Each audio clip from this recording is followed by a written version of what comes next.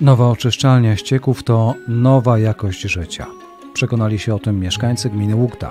Działa tam nowoczesny obiekt oddany do użytku ponad rok temu.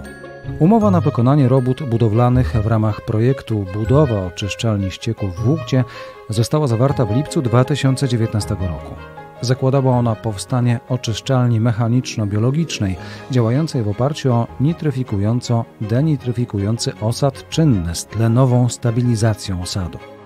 Prace obejmowały m.in. postawienie budynku technicznego, budynku mechanicznego oczyszczania ścieków, budynku gospodarki osadowej, pompowni ścieków, zbiornika retencyjnego, studni zasów, reaktorów biologicznych, punktu zlewnego ścieków dowożonych oraz utworzenie sieci wodociągowej i kanalizacyjnej.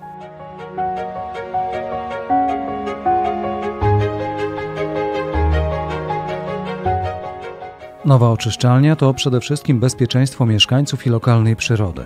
Stary obiekt powstał ponad 20 lat temu i już kilka lat po uruchomieniu nie był w stanie przyjąć niezbędnej ilości ścieków. Stanowiło to poważne zagrożenie dla okolicznych terenów, tym bardziej, że działający tam sprzęt często ulegał niebezpiecznym awariom.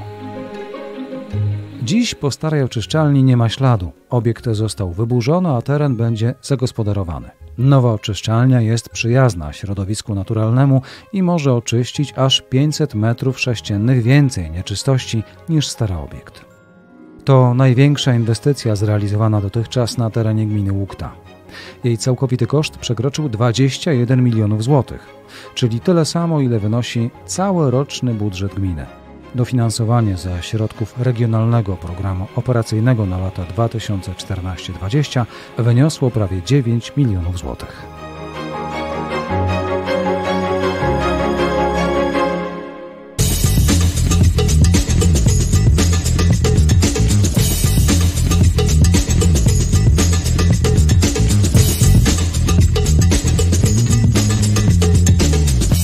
Telewizja Kopernik. kopernik.tv